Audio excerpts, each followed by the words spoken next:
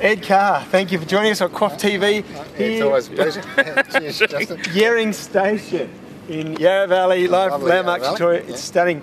And Ed, you just uh, showed 14 international guests a bit of uh, Australian sparkling. Yeah, that was actually great. It's um, a bit of work had gone into sort of scanning for styles, and but uh, the quality was just fantastic. I think you know, last five years or so, it's really come of age, and um, just settling into regionality, but also house styles. Yeah. Uh, I found that interesting you mentioned house styles, because obviously it's something we hear, you know, champagne houses. Yeah. But in Australia, I've not heard the term until House of Arras. And Yeah, I guess because the Australian premium sparkling industry is so young. Um, you know, like Pinot Noir and Chardonnay wasn't around until the 70s. It wasn't until the late 80s that sparkling wine really start, started to appear, you know, made from the classic varieties. And then if you age it five to ten years, you know, you've just lost a decade or two just instantly. So yeah. we, we're really only at the most 30 years into a you know, into the development of these things but I think it's come along so fast that it's um, there's some tremendous wines out there now Yeah, and we're competing on a world stage in terms of quality now. Yeah again I come back to the fact yeah the last five years these wines have really started to pitch. Like we're putting wines in that tasting from 99 oh, 98 actually through to you know to, to 2006 or 7 was the youngest wines. Mm. so that's that's tremendous because these styles just need the age to build the complexity and the depth. And um, it just takes time you can't you can't do it any faster And I guess that's why they're so expensive as they get. Oh, they build, yeah. There, there's an investment. There's Yeah. a vineyard investment, then there's the fruit investment, the winemaking, the glass, and then just you've got you've just got to wait, and all that money's just sitting there stewing away Yeah. until you can actually get it out onto the market. Which gives you time to save up for that bottle. well, we'll crack it. This was one that um, really impressed us. On a little Yeah. tip up from PJ, it was um, pouring as well. It's a Brown Brothers Patricia. It's a Pinot Chardy 05 vintage. Yeah. And are people drinking? Are people drinking bubbles, or is it still just a special occasion beverage? Um, it's still very much special occasion focused, and um, I personally believe it sort of suffers from that. eh? Well, yeah. in, in, in the sense that um, maybe it's a personal grief, but you know, uh, people, you know, people quite often I call it a stand-up wine. Like a lot of time, people you're socialising like this, and you're, you're not really concentrating on the wine. And so I guess that's why a lot of sparkling wine is brand orientated so strongly because they just put a label that's fine. Yeah. Um, whereas a lot of other wine styles, if you're sitting down to a meal and by the time you get to the red at the end of the night, you're, you know, you're really analysing them. Few geeks there- like us. there's a bit of a risk with fizz that because it is a celebration and an introductory wine, that there's other things happening. And I, I- Yeah. you Is that where it kind of stays in some people's minds as well? yeah, yeah, I think so. Um, We need to start yeah, I- drinking it with food and, and treating it like a wine, don't we? yeah, I think we do. And um, Asian. Yeah, yeah. I think there's you know lots of opportunities there to um, you know take sparkling wine into more serious sort of categories. Not that I think it's great to have it as an introductory, fun celebration wine. Yeah. Uh, but we really need to open up that spectrum to get people thinking about it, maybe just a little bit more.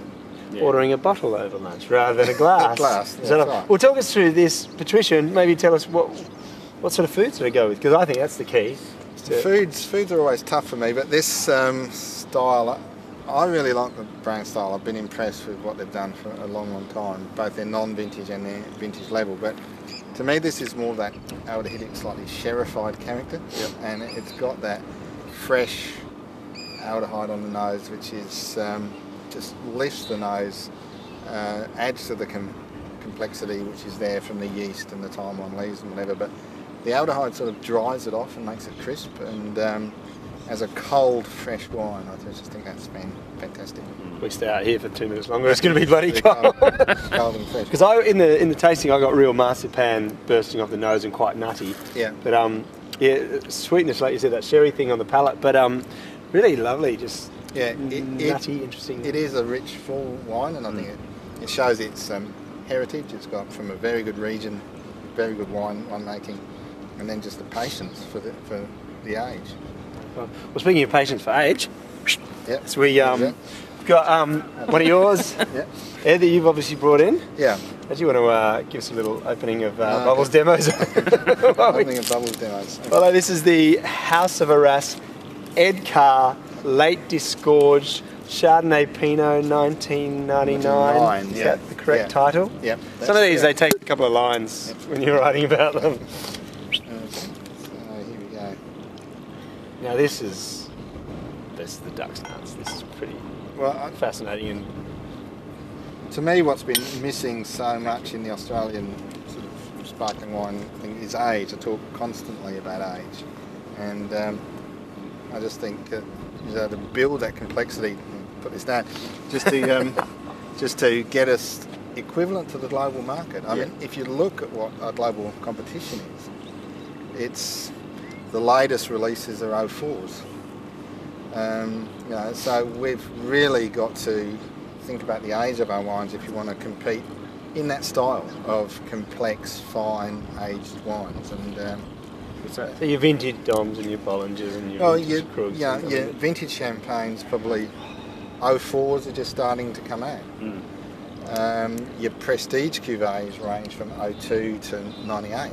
Mm. Um, I, I, that just shows you that you know the value of aging these wines on um, lees. They just need to be Give it if, some time. Yeah, yeah. And if you want to be taken seriously at the price points that these wines are going to be, because as you pointed out, The you know, investment. the the investment in the age, then they they just need the age. But they, they're obviously going to move into price points Yeah. that aren't normal for Aussie wines. So what's this worth Um, on the shelf? on, on the shelves about 190. Right, so it's right. It's putting itself right up yeah, there. Yeah. That's about sort of what Bollinger Dom was due than Well, Bollinger. Dom's about 250, Right, two, so it's- 240, 250. She's talking serious. Yeah. Yeah, yeah. Winston Churchill's around about the same, and but they're 98s, 99s. Yeah. Well, Dom's 2000, the last one. I Yeah, I think so as well. Yeah. Uh, This- I mean, so how- that's so is right that the take? Is that a take-home message from the um, uh, lecture t- this morning? That we need to give some time to our our sparklings. I I think uh, I think it is for our press prestige cuvées. I think um, For the producers, yeah, they need to take yeah, the time. yeah. What about the consumers? the consumers, it, it depends where we're trying to pitch. I mean, because of our diversity of climates and whatever, we can we can go sub ten um, dollars and produce faultless, nice, fruity, easy drinking wines, or we can push into the very cold climates and produce wines ten years old with all the age and com- com- complexity that takes them on to the global stage. I mean, this suddenly starts smelling like, and you, you want to stop drawing comparisons as soon as we can, but I guess we're talking in the field of champagne, but it suddenly starts smelling like a, a vintage, really sexy, funky, like, Oh. yeah. like Yeah, yeah. matchstick and nutty and I oysters and does, soy sauce and interesting, fascinating Yeah, things. I mean, there's so many styles of champagne as well. Um, that you know, I think where we need to be playing is just um, we're just an alternative, but at the same quality level. Yeah. Not the same, just at the same quality level. Um, And much with- cooler with if you own style. if you're bringing a bottle for an anniversary or something to bring out one of these rather than your stock standard dom. You know, be original.